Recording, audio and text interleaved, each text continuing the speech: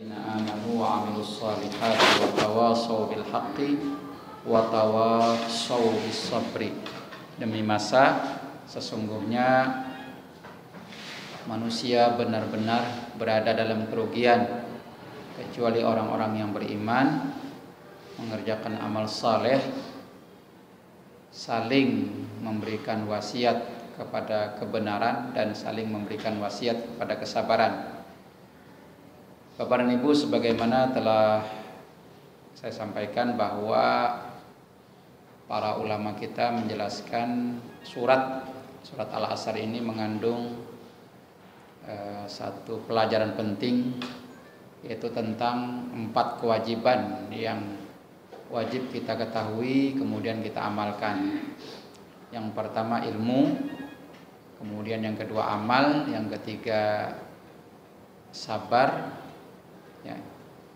Yang ketiga dakwah, yang keempat sabar. Jadi ilmu, amal, dakwah dan sabar. Nah, saya kemarin menjelaskan tentang ilmu. Yang pertama, jadi ilmu itu adalah satu ma'rifatullah, mengenal Allah. Yang kedua ma'rifatun nabi, mengenal nabi. Yang ketiga ma'rifatu dinil islami bil adillah, mengenal agama Islam dengan dalil-dalilnya. Nah, ini kita masuk ke bagian kedua yaitu ma'rifatun nabi, mengenal nabi. Uh, tema ini tampaknya memang sederhana ya. Mungkin bahkan ada orang yang bertanya, kita orang Islam. Kita ini kan muslim, orang Islam. Kenapa temanya mengenal nabi? Apa kita tidak kenal dengan nabi? Jadi ini bahasa ya. Jadi ma'rifatun ma'rifatun nabi ini biasa diterjemahkan dengan mengenal nabi. Tapi sebenarnya yang dimaksud dengan ma'rifatun nabi, mengenal nabi itu adalah satu tema yang berbicara tentang keimanan kepada Nabi Muhammad sallallahu alaihi wasallam. Bagaimana kita beriman kepada beliau. Nah, ini yang akan saya sampaikan dalam materi ini. Uh, saya mengawali dengan satu kutipan ya. Satu kutipan yang terdapat dalam kitab Al-Usul As-Salasah sudah diterjemahkan dalam bahasa Indonesia. Judulnya tiga landasan pokok. Nah, bunyinya begini ya saya bacakan. Nanti saya terjemahkan. I'lam ketahuilah. Rahimakallah semoga Allah memberikan rahmat kepadamu. Annahu yajibu ala kulli muslimin wa muslimatin. Wajib bagi setiap muslim dan muslimah. Orang Islam laki-laki dan orang Islam perempuan ta'allamu ta'allumu hadhil masailis salas mengetahui tiga masalah ini wal amalu bihi wal amalu bihinna dan mengamalkannya. Jadi wajib kita ketahui kemudian kita amalkan. Al-ula yang pertama annallaha khalaqana wa razaqana wa lam yatrukna hamalan. Bahwa Allah Subhanahu wa taala telah menciptakan kita dan memberikan rizki kepada kita dan tidak meninggalkan kita begitu saja. Bal arsala ilaina rasulan akan tetapi Allah mengutus seorang rasul kepada kita, seorang utusan. Faman ata'ahu dakhalal jannah. Barang siapa yang mentaatinya maka dia akan masuk surga. Waman asahu dakhalan nar. Dan barang siapa yang menentangnya maka dia akan masuk neraka. Bapak dan Ibu ini kalimat sederhana jadi ada tiga, cuman saya se, apa namanya uh, yang sesuai dengan tema kita satu yang pertama ya. Jadi kita tema kita ma'rifatun nabi, mengenal nabi. Ini prinsip dalam dalam beragama dan ini wajib kita ketahui. Setiap orang Islam wajib tahu. Ya. Ini yang oleh para ulama kita disebut dengan ilmu yang sifatnya fardu ain. Ilmu yang wajib diketahui oleh setiap muslim kalau tidak tahu berdosa. Kenapa dosa? Karena nanti pengetahuan ini akan berimplikasi kepada banyak hal. Banyak turunannya. Maka ini kewajiban fardu ain, kewajiban individu. Ya, sekarang saya jelaskan bahwa Allah Subhanahu wa taala ini jadi ada beberapa prinsip. Ini prinsip ya, yang prinsip dalam keimanan. Kita bicara tentang prinsip keimanan dan hubungannya dengan uh, keimanan kita kepada baginda Rasulullah sallallahu alaihi wasallam. Yang pertama, prinsip yang pertama, Allah tidak menciptakan alam semesta ini tanpa tujuan. Allah Subhanahu wa taala tidak menciptakan alam semesta ini termasuk di dalamnya kita sebagai manusia tanpa tujuan. Berarti kalimat ini artinya Allah menciptakan alam semesta mesti ada tujuannya. Jadi Allah tidak ciptakan begitu saja ya, secara sporadis tidak tetapi ada tujuan. Nah, mari kita lihat ayat-ayatnya. Ini prinsip yang pertama, Allah tidak menciptakan alam semesta ini tanpa tujuan. Yang pertama surat Al-Mu'minun ayat 115. Ini dalilnya. Ya. Allah berfirman, "Afa hasibtum annama khalaqnakum abasan wa annakum ilaina la turja'un?" Maka apakah kamu mengira bahwa sesungguhnya kami menciptakan kamu secara main-main saja dan bahwa kamu tidak akan dikembalikan kepada kami? Apakah kamu mengira bahwa sesungguhnya kami menciptakan kamu secara main-main tanpa tujuan? Jadi Bapak dan Ibu ini pertanyaan ya. Dalam ilmu tafsir namanya istifham ingkari Bertanya tetapi untuk mengingkari Kalau kita bertanya untuk tahu ya saya nggak tahu lalu saya bertanya. Itu bertanya untuk tahu. Ini pertanyaan bukan untuk tahu tapi bertanya untuk mengingkari. Itu yang disebut dengan istifham ingkari. Jadi Allah mengingkari kalau ada orang yang berpendapat bahwa alam semesta ini termasuk di dalamnya manusia diciptakan sia-sia tanpa tujuan jadi kalau ada orang punya keyakinan seperti itu, ini keyakinan yang tidak benar. Maknanya adalah bahwa Allah Subhanahu wa taala ciptakan alam semesta yang begitu besar ini termasuk manusia di dalamnya dan manusia itu sangat kecil, sangat kecil. Jadi kalau ada debu, debu itu dibelah-belah sampai sangat kecil. Nah, mungkin itulah manusia dibandingkan dengan alam semesta yang begitu luas, ya.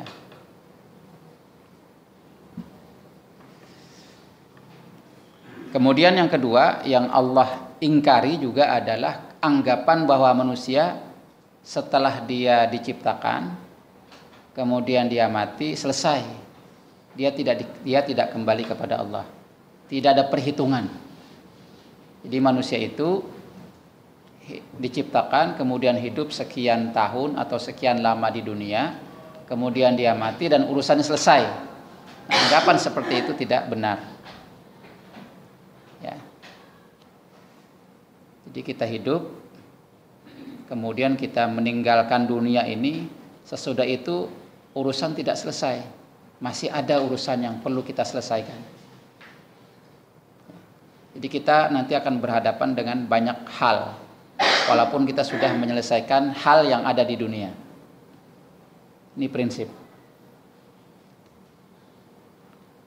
Kemudian surat Sot ayat 27. Wa ma khalaqnas samaa wal arda wa ma bainahuma batila. Dzalika dhannul ladzina kafaru wa wailul lil ladzina kafaru minan nar. Dan kami tidak menciptakan langit dan bumi dan apa yang ada di antara keduanya tanpa hikmah. Jadi kalau ayat yang sebelumnya Allah bertanya tetapi untuk mengingkari. Kalau ini penegasan, ya, afirmasi. Dan kami tidak menciptakan langit dan bumi dan apa yang ada di antara keduanya kita nih ya, di antaranya kita. Tanpa hikmah, tanpa hikmah itu tanpa ada tujuan, tanpa hikmatnya sia-sia. Kalau ada yang beranggapan begitu, maka Allah katakan yang demikian itu adalah anggapan orang-orang kafir. Berarti anggapan yang mengatakan bahwa manusia diciptakan tanpa tujuan, diciptakan begitu saja, itu adalah anggapan orang-orang kafir, orang-orang yang tidak beriman kepada Allah. Anggapannya kafir, orangnya kafir. Nah, orang kafir ini diancam oleh Allah. Fawailul lilladzina kafaru minan nar. Maka celakalah orang-orang kafir itu karena mereka akan masuk neraka. Kita lihat lagi ayat 36 dari surat Al-Qiyamah. Ayah sabul insanu an yutraka suda. Apakah manusia mengira bahwa ia akan dibiarkan begitu saja tanpa ada pertanggungjawaban? Ini sama dengan ayat yang pertama. Ada pertanyaan apakah? Tapi pertanyaan bukan untuk tahu, pertanyaan untuk mengingkari. Pengingkaran Allah Subhanahu wa taala bagi orang yang mengira bahwa dia diciptakan begitu saja. Jadi nanti yang dimaksud begitu saja eh, dibiarkan begitu saja itu tanpa ada pertanggungjawaban, tanpa ada beban tanpa ada perintah dan tanpa ada larangan.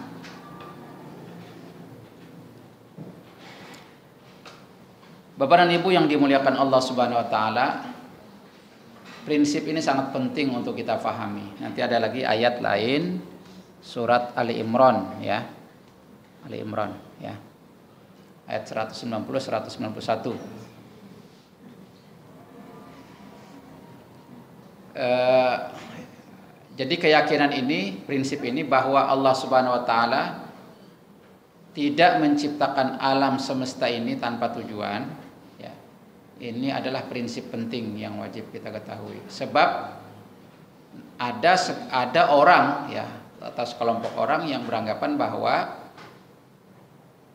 manusia diciptakan dan dia eh, tidak diatur Eh, jadi dibiarkan saja. Ya. Eh, kita ambil contoh umpamanya ya. Ini satu ada satu aliran dalam filsafat, aliran filsafat Yunani namanya paham atau aliran epikurianisme. Epikurianisme. Jadi paham itu mengatakan bahwa Tuhan setelah menciptakan manusia, Tuhan pergi meninggalkan manusia yang diciptakan jadi Tuhan itu tidak mengurusi lagi makhluk yang diciptakannya. Jadi nanti Bapak Ibu anggapan ini sangat apa sangat apa sangat ini sangat berbahaya ya. Nanti manusia itu di eh, apa namanya di disuruh karena Tuhan setelah menciptakan kemudian dia tidak mengurusi lagi manusia yang diciptakannya, dibiarkan jadi manusia itu disuruh untuk mengurusi dirinya sendiri. Akibatnya apa akibatnya? Penentuan baik dan tidak baik, boleh dan tidak boleh, bukan Tuhan yang menentukan, manusia yang menentukan. Jadi kita mengatakan ini perbuatan baik, ini perbuatan buruk, ini perbuatan yang boleh dilakukan dan ini yang tidak boleh dilakukan itu bukan Tuhan yang menentukan, tapi manusia itu sendiri. Nah, dari sinilah kemudian nanti uh, timbul atau lahir satu paham disebut dengan paham humanisme. Nah, ini berbahaya kalau umat Islam, kalau kita orang beriman terpengaruh atau termakan oleh paham ini. Ya, ya kalau baik dan tidak baik itu kita menentukan, masalahnya baik dan tidak baik itu terkadang relatif. Bagi saya baik, bagi orang lain bisa tidak baik. Orang lain menganggap baik, bagi saya tidak baik, relatif. Jadi kalau kita di sini, di ruangan ini umpamanya ada 20 orang, tentu paling tidak ada 20 pendapat. Ya.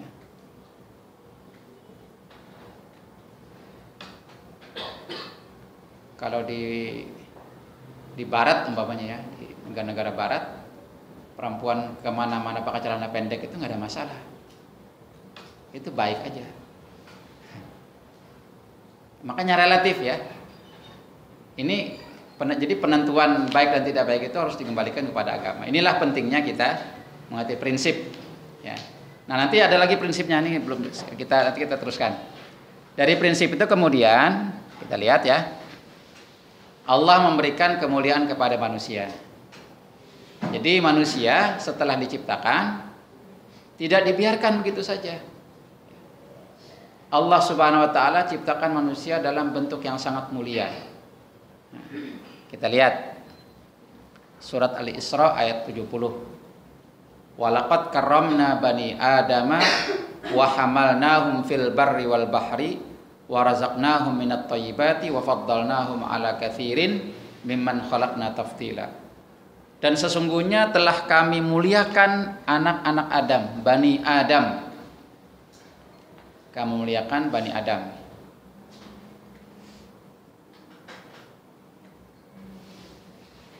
Kami bawa mereka di daratan dan di lautan.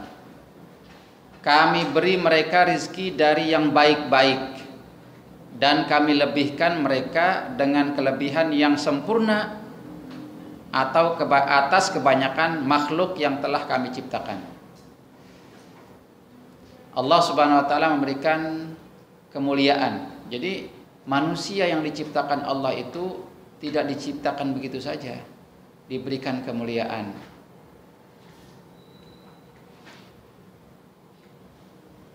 Diberikan kepada mereka rizki yang baik-baik dan mereka diberikan kelebihan. Ini kelebihan ini nanti kelebihan apa? Saya jelaskan. Dan kemuliaan itu seperti apa?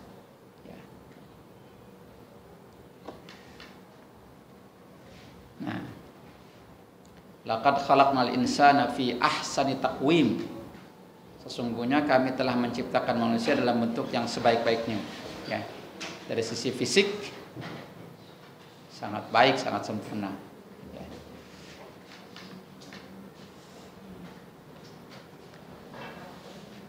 Surat kemudian surat An-Nahl ayat 78. Wallahu akhrajakum min butuni ummahatikum la ta'lamuna syai'a wa ja'ala lakumus sam'a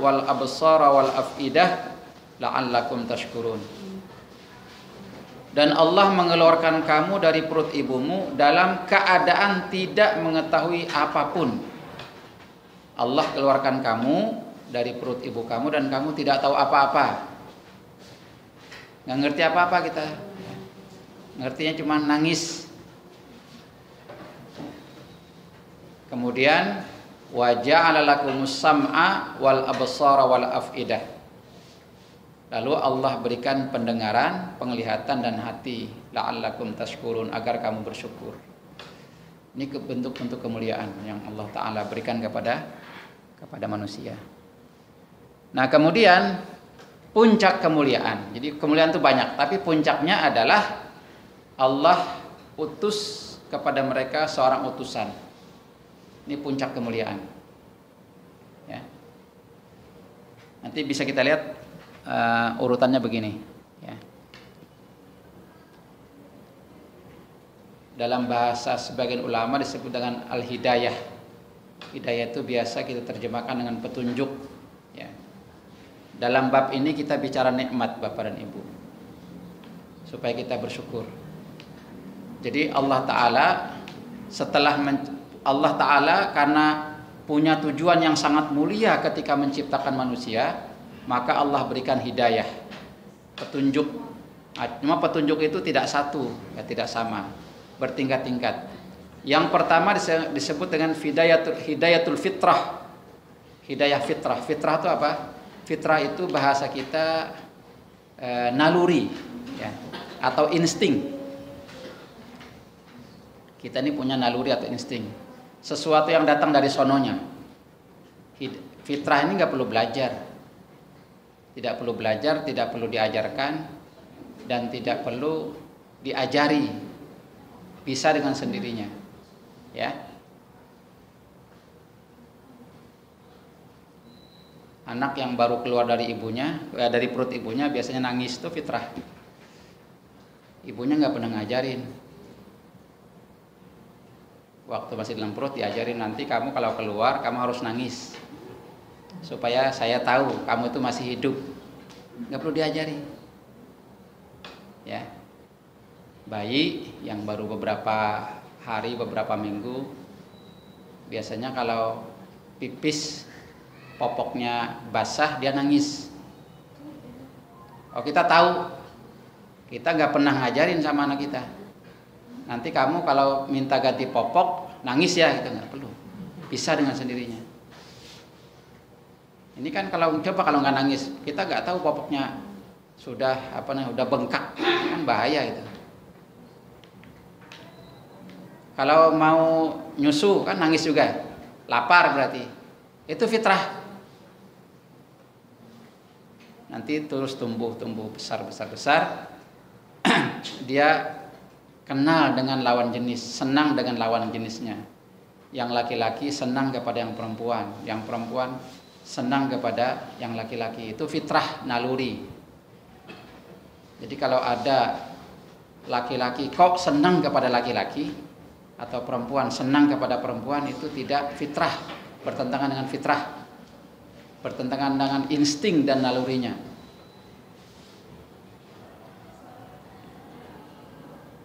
Jadi aneh kalau ada seorang profesor pendukung LGBT mengatakan LGBT itu fitrah. Aneh itu. Ada profesor. Nah, susah lagi kalau lupa dia profesor ya. Dia profesor dua lupa dia kalau dia profesor tuh susah lagi.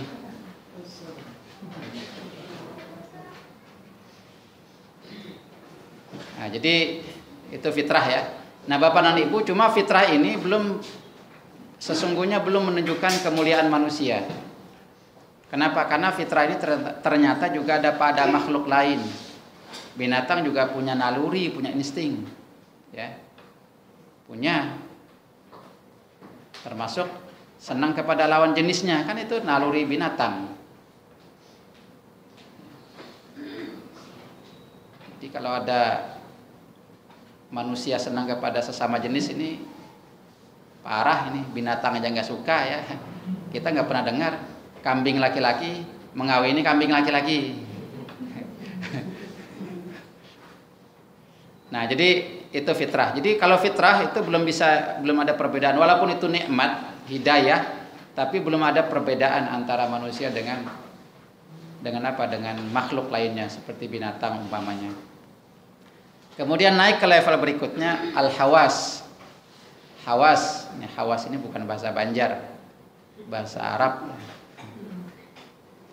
Hawas itu artinya indera. Tadi kan dan Allah keluarkan kamu dari perut ibumu dalam keadaan tidak tahu apa-apa. Ya. Kemudian Allah berikan pendengaran, penglihatan dan hati. Itu indera. Ya. Tapi indera ini juga Bapak dan Ibu ini sudah nikmat semakin banyak, tetapi belum menunjukkan kelebihan manusia. Karena indra ini juga ada pada manusia, pada makhluk lain, ya. Bahkan bisa jadi di makhluk lain indranya bisa lebih baik daripada manusia. Seperti anjing pelacak. Anjing pelacak itu punya indera penciuman yang luar biasa tajam, kalah sama kita. Ya kalau sama untuk apa anjing pelacak? Polisinya aja suruh cium.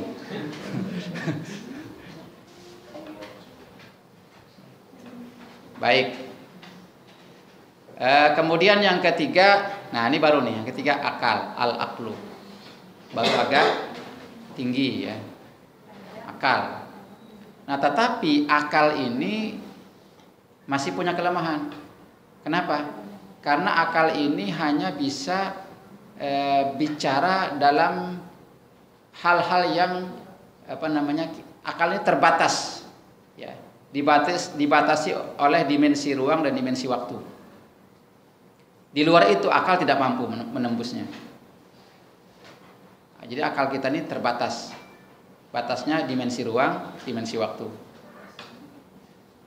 nah karena itu berikutnya masuk pada yang puncaknya din agama maka sempurnalah sudah nikmat atau hidayah yang Allah taala berikan kepada manusia. Inilah makna tadi. Dan kami lebihkan ya, kepada manusia sesuatu yang tidak kami berikan kepada yang lain di agama. Di sinilah nanti peran para utusan. Sebab Allah Subhanahu wa taala setelah menciptakan manusia dan manusia itu diciptakan untuk tujuan yang sangat mulia, diberikan perintah, diberikan larangan, dibimbing, diajari, ya. Allah Subhanahu wa taala tidak langsung membimbing mereka. Allah nggak ngomong langsung sama manusia. Hai hey manusia, kamu saya ciptakan. Kamu harus nurut sama saya. Jangan melanggar perintah saya. Allah nggak ngomong langsung. Allah ngomong lewat utusannya. Nah, utusan itulah yang kemudian kita sebut dengan nabi atau rasul. Nah. Kita lihat surat Fatir ayat 24. Inna arsalnaka bil haqqi basyiran wa nadhiran wa im min ummatin illa khala fiha nadhir. Sesungguhnya kami mengutusmu dengan kebenaran sebagai basyir, sebagai pemberi gembira, wanadhir, pemberi peringatan. Kemudian Allah tegaskan wa min ummatin illa khala fiha nadhir. Dan tidak ada satu umat pun melainkan telah ada padanya seorang pemberi peringatan. Jadi ketika Allah ciptakan manusia, tidak ada yang tidak uh, tidak ada yang tidak ada nabinya begitu pasti ada nabinya. Dari manusia pertama ya sampai Nabi Muhammad SAW sebagai penutup nabi dan rasul itu pasti ada nabinya.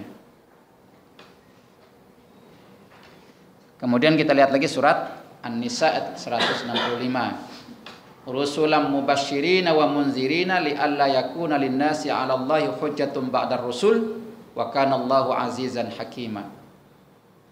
Mereka kami utus selaku utusan-utusan pembawa berita gembira dan pemberi peringatan agar supaya tidak ada alasan bagi manusia membantah Allah sesudah diutusnya rasul-rasul itu dan adalah Allah Maha Perkasa lagi Maha Bijaksana. Jadi tugas para nabi dan rasul utusan Allah Subhanahu wa taala adalah untuk memberikan peringatan untuk memberikan kabar gembira supaya tidak ada alasan. Ya nanti begini, kalau umpamanya Allah Subhanahu wa taala ciptakan manusia, kemudian Allah tidak utus kepada mereka utusan, siapa yang membimbing mereka? Kalau ternyata kemudian, kalau ternyata kemudian manusia yang diciptakan ini melakukan pelanggaran dan Allah sanksi mereka, pasti mereka beralasan Tuhan, kenapa engkau sanksi kami? Kenapa engkau hukum kami? Kami itu nggak tahu. Kami telah melakukan kesalahan.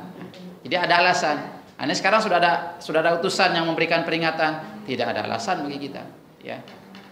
Nah oleh karena itu nanti surat Al-Mulk ayat 10 ya. Ini eh, Bapak dan Ibu semacam penyesalan. Penyesalan siapa? Penyesalan para penghuni neraka. Mereka katakan, "Lau kunna nasma'u au naqilu ma kunna fi ashabis sa'ir."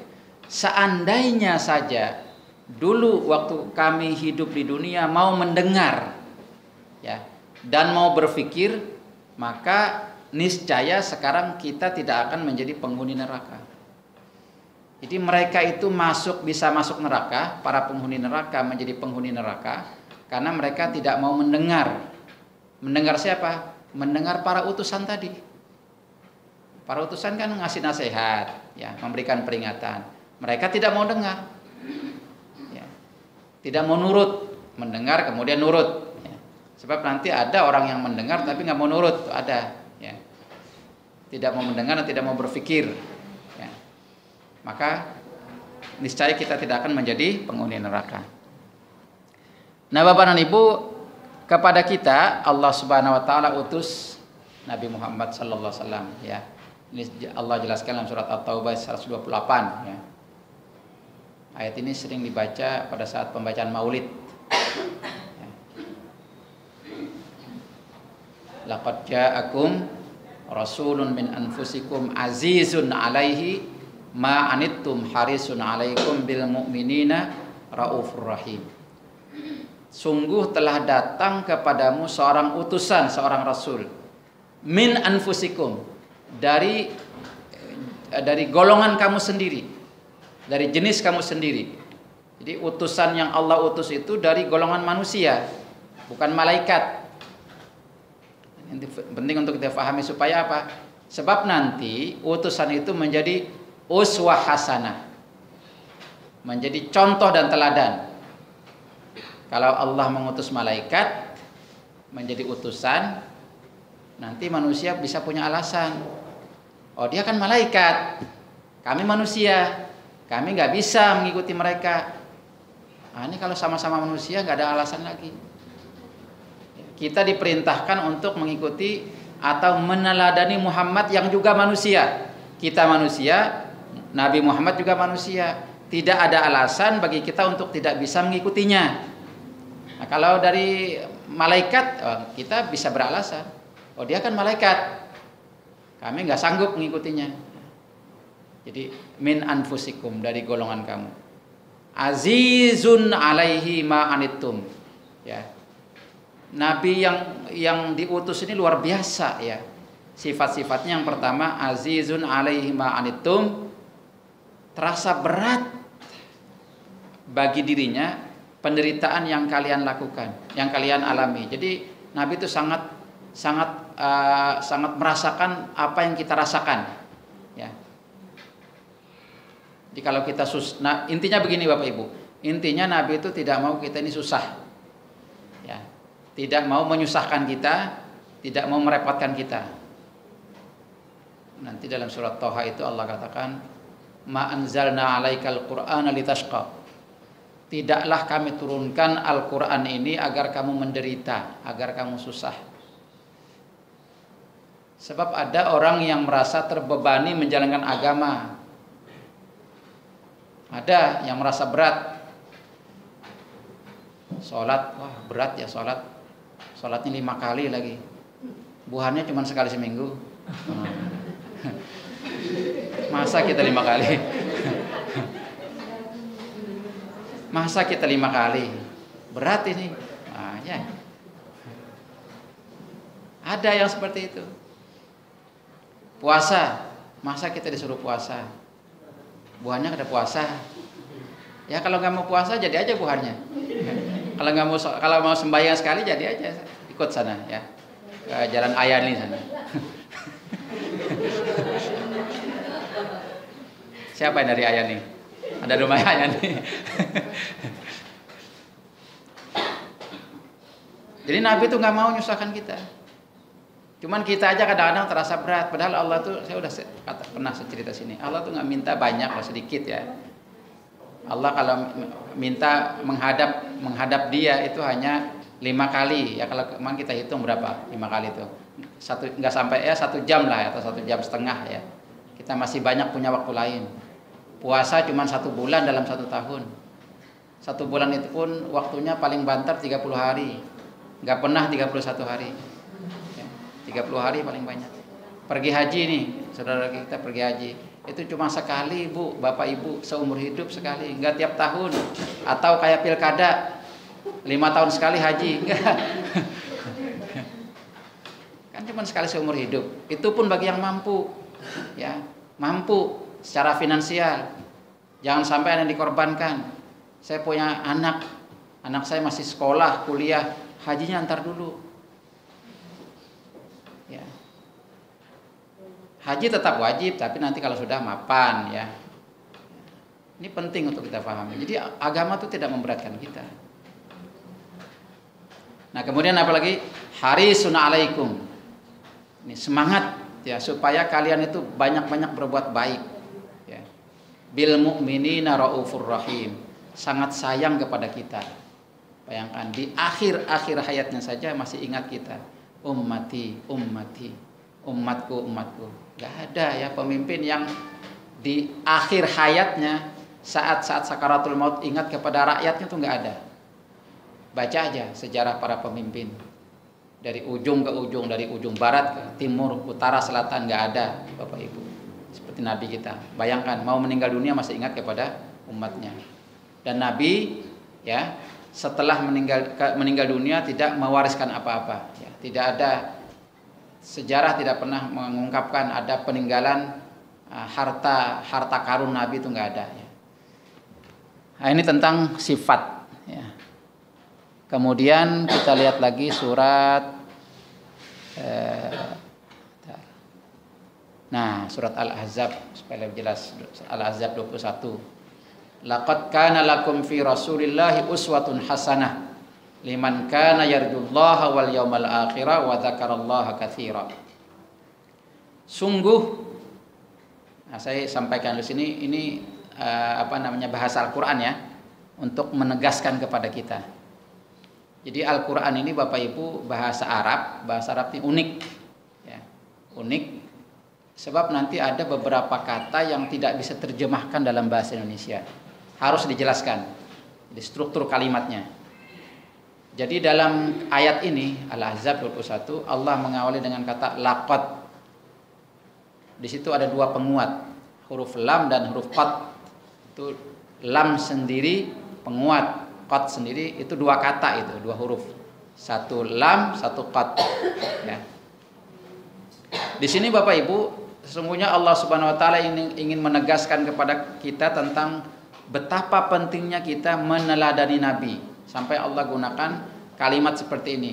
Sesungguhnya benar-benar telah ada pada diri nabi seorang eh, pada diri nabi Rasulullah uswah hasanah, contoh teladan contoh yang baik.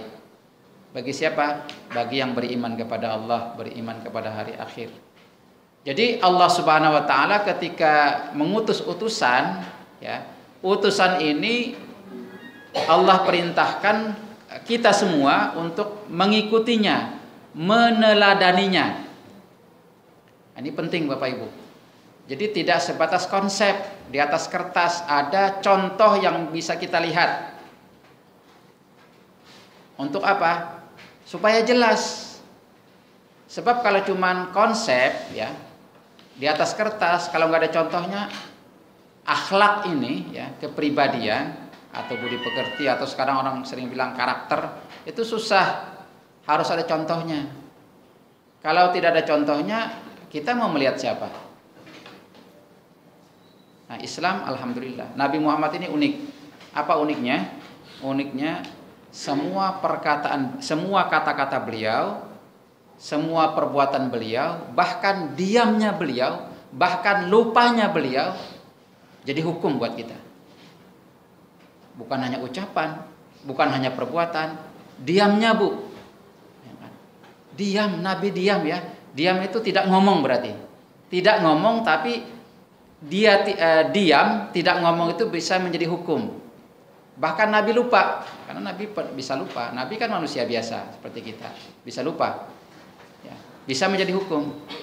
Contohnya dalam sujud sahwi kan ada tuh ya, salat Nabi, salat asar atau zuhur sampai lima rakaat lupa. Jadi hukum buat kita semua. Nah, jadi unik ya. Nah, manusia seperti ini oleh Allah Subhanahu wa taala perintahkan kita untuk meneladaninya, wujud nyata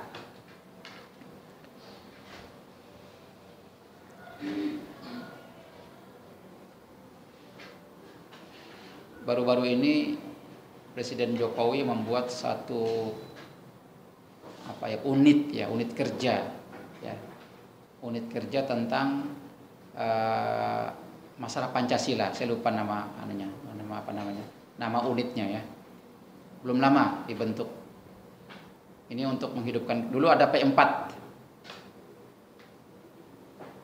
saya masih ingat tuh P4 masih ingat ada yang pernah ikut penataran P4 ya, Bu ya? Nah, penataran P4. P4 itu kan pedoman, pengamalan dan penghayatan Pancasila. Ya. Salah sempat ikut nggak, Leh? Sempat. Berarti orde baru juga ini. orde baru juga.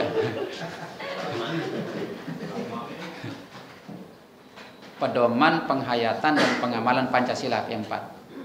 Jadi kita diperintahkan untuk mengamalkan Pancasila. Cuman repotnya begini. Repotnya kita tidak punya contoh siapa manusia yang betul-betul mengamalkan Pancasila. Siapa yang dapat kita jadikan contoh?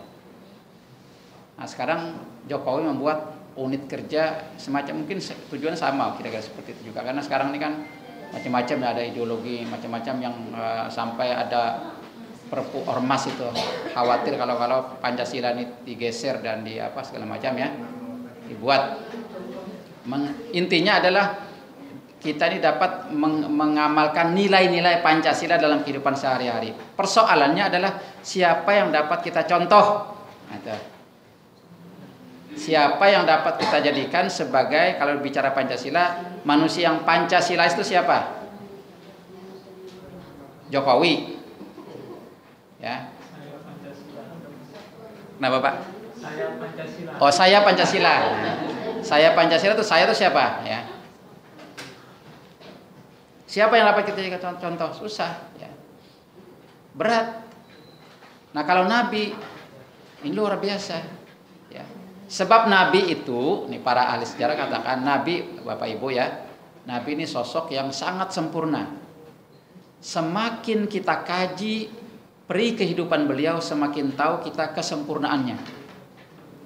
Semakin kita kaji, semakin kita dalami, semakin tahu kita bahwa manusia itu Nabi Muhammad adalah manusia yang sangat-sangat sempurna. Nah, kaidah seperti ini nggak bisa diterapkan pada selain Nabi. Nah, kalau manusia selain Nabi, Kebalikannya, semakin kita pelajari kehidupannya, semakin tahu kita salahnya, cacatnya, aibnya. Jadi kalau kita mau pelajari seseorang dikit-dikit aja, jangan banyak-banyak. Ntar ketahuan boroknya. Kalau Nabi enggak, makin kita kaji, makin kita dalami sejarah hidup beliau, ya, namanya sirah nabawiyah ya. Makin tahu kita kemuliaan, kesempurnaan akhlak beliau. Sosok itulah yang kemudian kita jadikan sebagai uswah hasanah lengkap. Jadi kita ini enak ya. Jadi orang Islam ini enak. Mau apa aja ada pada diri Nabi ya. Nanti kita bicara adab ya. Adab. Nah, kemudian waktu kita berapa menit lagi? Tinggal 10 menit. Tinggal 10 menit ya. Eh, katanya jawab aja ya. Nanti nggak selesai. Baik, Tadi nggak pakai pembawa acara nih, saya langsung aja. Saya langsung mempersilakan kepada Bapak Ibu kalau ada yang ingin ditanyakan silakan.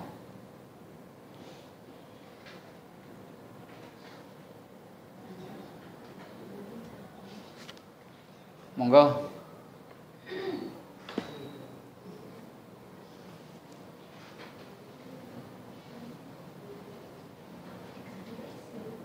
Nggak ada ya? Ustaz. Oh ada. Daripada dia. Uh, mohon maaf ini saya terlambat tadi. Ini kenaan dengan materi yang sekilas disampaikan Ustaz yang saya dengar ada terlambat berkenaan dengan hidayah. Ini kan mungkin salah satu faktor untuk memelihara hidayah di antara adalah termasuk kita cara berteman. Ustaz ya. Karena menurut cerita kalau kita berteman dengan teman baik akan membawa pada kebaikan. Nah kemudian kalau kita berteman pada teman yang jahat atau yang jelek maka kita akan berpengaruh. Nah yang jadi masalah kalau kita berteman baik bisa mengajarkan orang agar kita kan sampai syukur akan membawa manfaat tapi ketika kita baik berteman dengan itu, ketika nanti bertanggung jawaban di akhirat, salah satu contoh karena teman itu pernah kita ajak untuk bermaksiat. Dan kita sudah tobat, tapi dulu kita pernah ngajak, akhirnya menurut cerita itu kan kita diajak ke neraka juga kan Ustaz. Jadi sebaik-baiknya teman, ya teman yang bisa sama-sama mengajak pada kebaikan, termasuk ya kita ajak dalam majelis ilmu mungkin dalam hal-hal yang bermanfaat untuk diri kita untuk orang banyak. Nah sekarang kalau di masyarakat menjadi kendala. Masyarakat ini kulturnya kan bermacam-macam bahkan di masyarakat itu yang namanya warga atau masyarakat itu adalah saudara kita semua. Saudara kita. Namun kemampuan kita kadang-kadang